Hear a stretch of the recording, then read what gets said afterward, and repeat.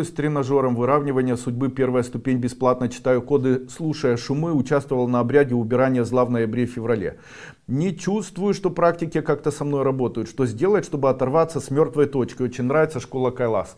Когда человек занимается эзотерикой он должен знать что он расходует психическую энергию. И если ничего не происходит то ее нет. А что же делать чтобы она появилась? Как бы это ни звучало странно человек должен испытывать радость научиться этому необходимо.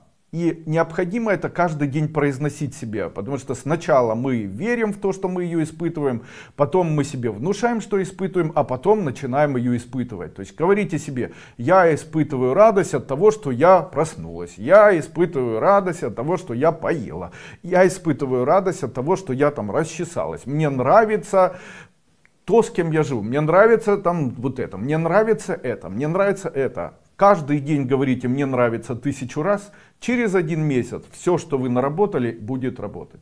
Таким образом человек приходит к тому что называется сила мага или магическая сила и эти практики обряды с вами начнут работать. Если вы постоянно угрюмы если у вас падает настроение если вы все время находите в себе состояние беспокойства, озабоченности какой-то, то вырваться и тем более практики заставить работать, ну, не будет никакой возможности. Давайте вспомним первую ступень. Я там говорил о том, что э, эзотерика работает на психической энергии, а психическая энергия это некая энергия, которая накапливается в тот момент, когда человек испытывает от чего-то удовольствие или радость.